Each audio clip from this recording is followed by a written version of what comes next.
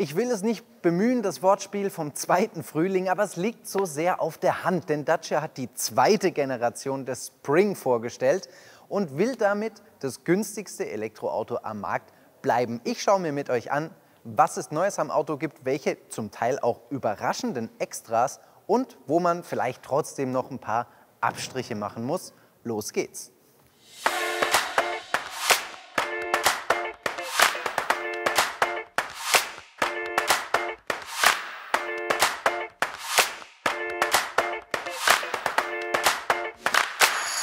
Ich sage günstigstes Elektroauto und kann euch nach meinem heutigen Kenntnisstand leider noch gar keinen offiziellen Preis nennen. Aber zur Einordnung gesagt, das aktuelle, also das erste Generationenmodell, startet bei etwas über 22.000 Euro und in einer ähnlichen Spanne wird sich auch Generation 2 bewegen. So viel ist wahrscheinlich mehr als nur Spekulation. Das hier ist die Ausstattungslinie Extreme, also die höchste aller Ausstattungslinien, die es gibt und die ist nochmal ungefähr zweieinhalbtausend Euro teurer. Also auch das wird sich wahrscheinlich in Relation beibehalten.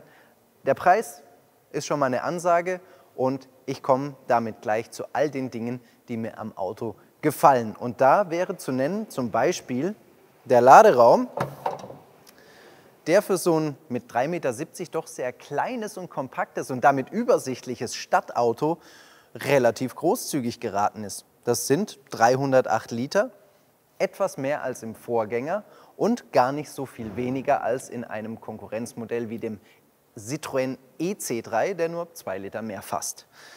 Kann man gut gebrauchen.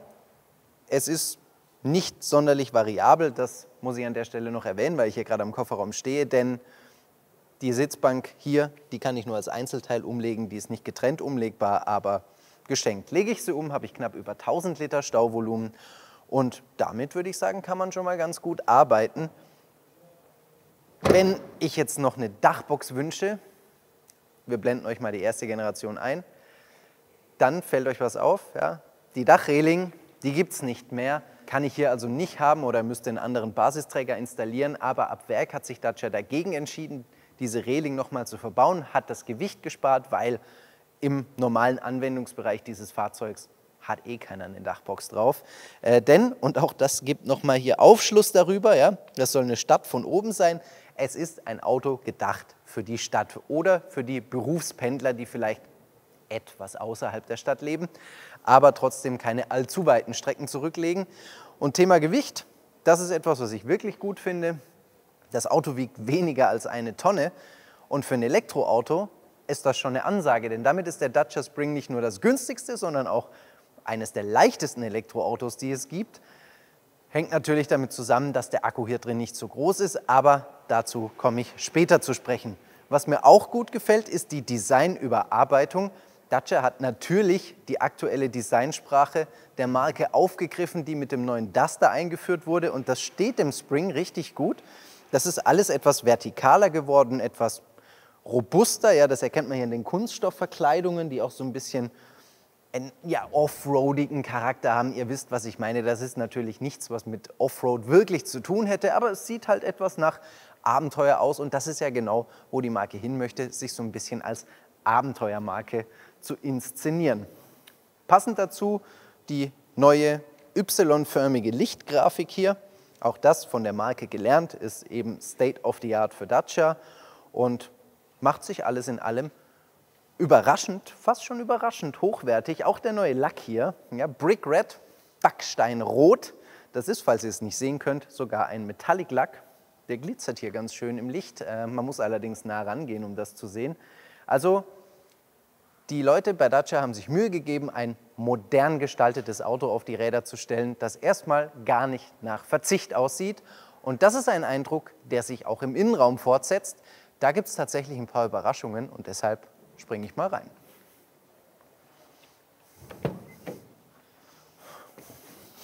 Hier drin schaue ich erstmal in ein übersichtlich gestaltetes Cockpit, aber auch ein logisch gestaltetes Cockpit und das Raumgefühl ist trotz der geringen Außenabmessungen gar nicht so klein, wie das Auto aussieht. Ja, der Kopf hat relativ viel Platz. Nach oben ist da keine Gefahr anzustoßen.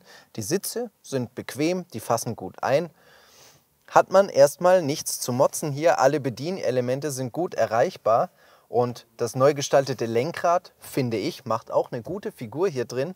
Ähm, das kennt jeder, zumindest die Bedienelemente hier, der schon mal in einem Renault-Modell saß, denn das sind natürlich von dort entnommene Tasten. So auch der obligatorische Satellit hier hinter dem Lenkrad, mit dem ich laut, leise und sowas machen kann. Also meine Musikwiedergabe steuern. Und mit der Musikwiedergabe kommen wir zum eigentlichen Schmuckstück hier drin. Das ist nämlich das Infotainment-System.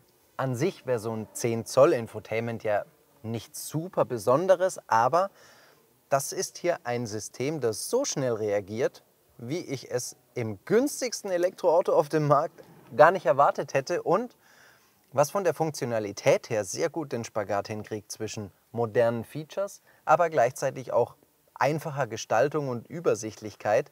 Ich kann hier die Kontrastfarben ändern, so kleine Spielereien machen, was ich persönlich immer ganz nett finde, aber funktional vielleicht die wichtigste Info.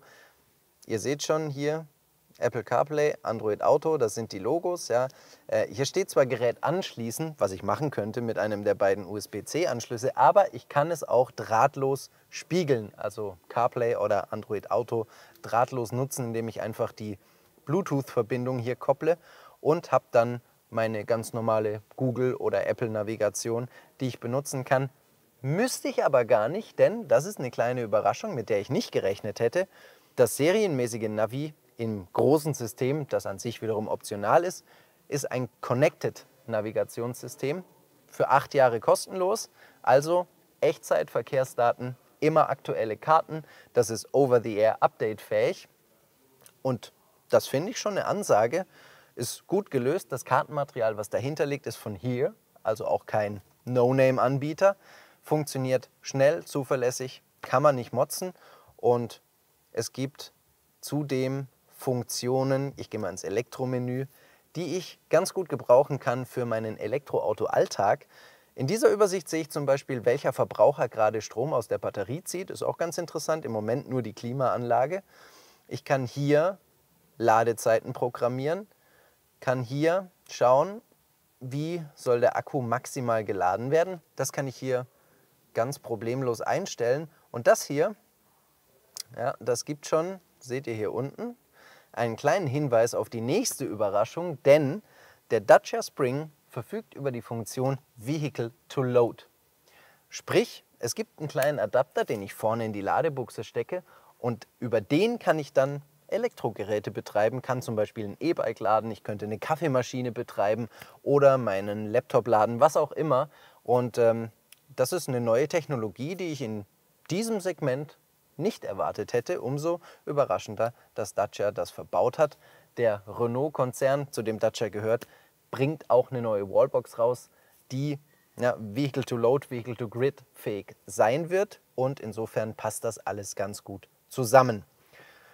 Dann der Vollständigkeit halber sei noch erwähnt, hier das zweite Display, das ist 7 Zoll groß, ist individualisierbar, also ich kann hier verschiedene Ansichten einblenden und kann es gut ablesen. Die Elemente sind groß genug. Also digitales Cockpit ist heutzutage eben einfach State of the Art und deshalb darf es auch in diesem Fahrzeug nicht fehlen. Was mir auch gut gefällt, das sind die Sitze hier drin. Die sehen zumindest in der Extreme-Version schon mal ziemlich schick aus mit diesen abgesetzten Nähten. Wirken sehr gut verarbeitet, ja, fest gepolstert, nicht irgendwie schnell durchgesessen. Die geben auch guten Seitenhalt. Die Wangen, die gehen relativ weit raus. Natürlich ist die Sitzfläche relativ schmal, aber das ist bei einem kleinen Auto nun mal so. Da kann man nichts dran ändern. Aber erstmal machen die einen guten Eindruck. Generell die Verarbeitung hier drin macht erstmal einen guten Eindruck, auch wenn das, ne, ihr hört es, natürlich harte Kunststoffe sind. Aber irgendwo muss so ein günstiger Preis eben auch herkommen. Und das bringt mich zu den paar Aspekten, wo ich mit dem Dacia Spring eben Abstriche machen muss. Und Dazu komme ich jetzt. Für euch als automobiles Fachpublikum sind die gebotenen Abstriche hier wahrscheinlich keine Überraschung. So zum Beispiel die Reichweite. Sicher ist der Dacia Spring kein Reisefahrzeug, denn laut WLTP schafft er 220 Kilometer und wir wissen alle, in Wahrheit wird dieser Wert noch ein bisschen schrumpfen. Besonders spritzig geht es auch nicht voran. Was die Motorisierungen betrifft, bleibt es bei den gewohnten 45 PS oder den optionalen 65 PS. Übrigens beide mit demselben Akku gekoppelt. Da gibt es jedenfalls keine Auswahlmöglichkeiten. Die Assistenzsysteme sind auch nicht so richtig überraschend ja in diesem Segment begrenzt. Da ist eben das drin, was vorgeschrieben ist, sprich ein Frontkollisionswarner ist am Start. Ich habe jetzt auch Verkehrszeichenerkennung, Spurverlassenswarner, das soll es dann aber auch gewesen sein. Im Fondbereich ist der Sitzplatz, ja, das Raumangebot für Menschen über 1,70 kein besonderes Vergnügen. Auch der Einstieg ist vergleichsweise schmal, aber sonderlich oft werden wahrscheinlich vier erwachsene Menschen nicht in diesem Fahrzeug unterwegs sein. Deswegen wäre das vermutlich auch verschmerzbar.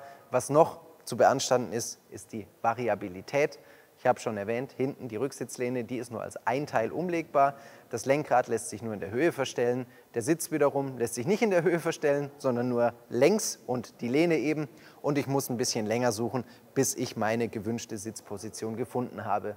Aber dafür, nochmal, habe ich ein konkurrenzlos günstiges Elektroauto gekauft und das ist doch auch was wert. Apropos kaufen, das geht dann ab Sommer 2024 und rechtzeitig vorher würde ich mal vermuten, können wir euch auch noch offizielle Preise nennen. Für heute war es das auf jeden Fall. Wir sehen uns dann beim nächsten Mal wieder. Bis dahin und tschüss.